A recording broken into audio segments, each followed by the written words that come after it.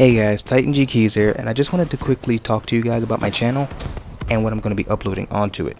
What you currently see me playing is Call of Duty Black Ops 3 on one of the new Awakening maps. Other games that I play like Grand Theft Auto and Elder Scrolls Online. If you guys want to see those uploaded onto the channel, just let me know in the comments below. I'll definitely work on those and get them uploaded. And really soon I'm going to start uploading Assassin's Creed Unity, a full playthrough. If you guys want to continue to see more of that, just let me know down in the comments below. And I'll definitely keep working on that. But let me get to the main point of the video.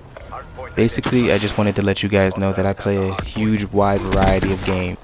And I don't just stick to Call of Duty all the time. I do play Grand Theft Auto, Elder Scrolls Online, Assassin's Creed, uh, Sword Art Online, a bunch of different games, you know and if you guys wanted me to play different games just let me know down in the comments and I will definitely start working on those effective immediately just for you guys.